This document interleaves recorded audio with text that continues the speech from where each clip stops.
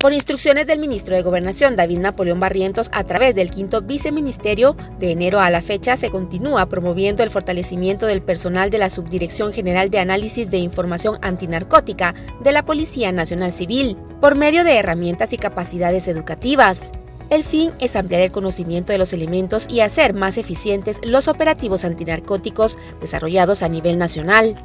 Para ello se han realizado cursos y capacitaciones específicas como la especialización para comando de operaciones, en donde 100 agentes se han graduado recientemente. Mientras, otra promoción se encuentra en desarrollo para la graduación de 175 agentes que conforman la promoción número 23.